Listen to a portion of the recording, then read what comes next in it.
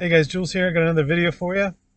Um, it's about the new church, the the church rising, and I, I think it's kind of looking beyond the judgment of how things are going to develop. But Lord, thank you, Father, for all visions, all dreams, all words of knowledge. Thank you, Father God, for leading us, for guiding us, for informing us. We love you, Lord. We love you, Lord.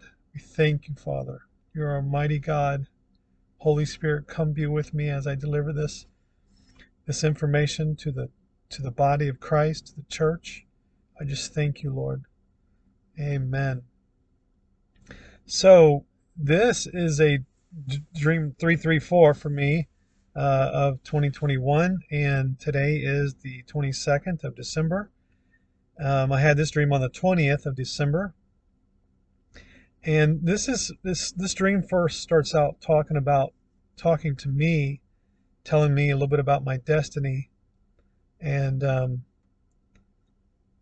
and I also put in there my wife's destiny too, and so here it goes. Um, and, and and this is, I believe this is, this is looking beyond the judgment and how the remnant is rising up. And this this is what you know. I've been talking about this. And a lot of people got a little confused. This is the new church.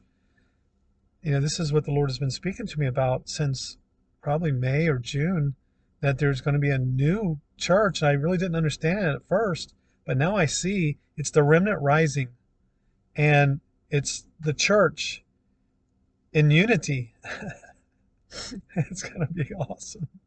So I'm excited about that.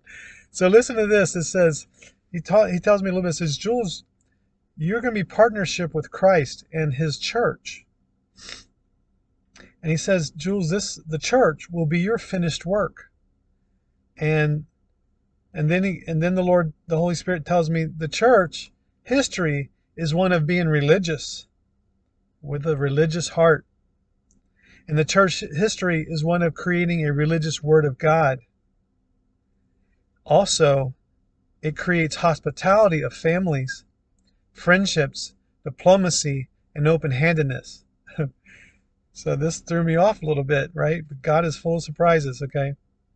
So he says, Jules, the best the world has to offer without God is hospitality of families, friendships, diplomacy, and open handedness.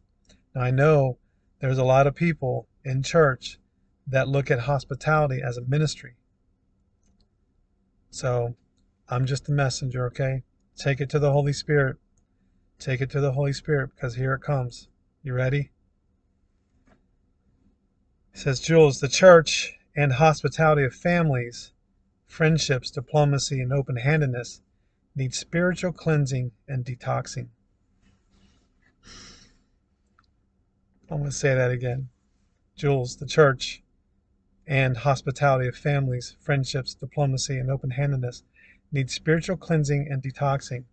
And I'm like, Lord, well, you know, shouldn't we kind of offer these to newcomers and things like that? Um,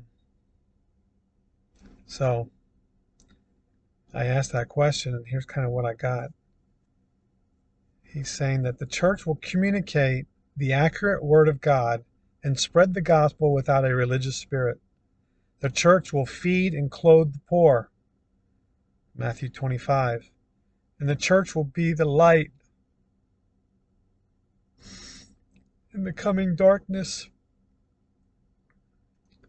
Ephesians 4 13 through 16.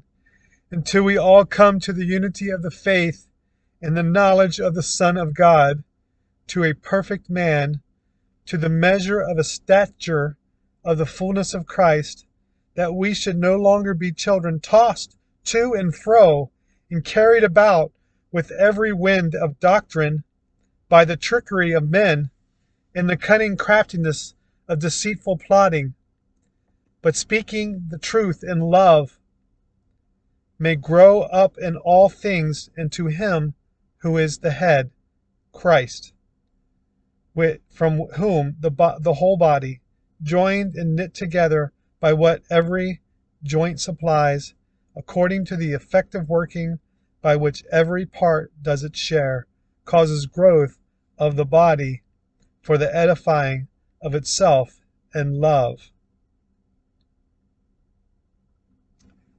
Amen. Hope you enjoyed this message. This is a little glimpse, I think, of what to expect in the in the new church rising, the the remnant church, the apostolic church. Um, so, God bless you guys, and Jules out.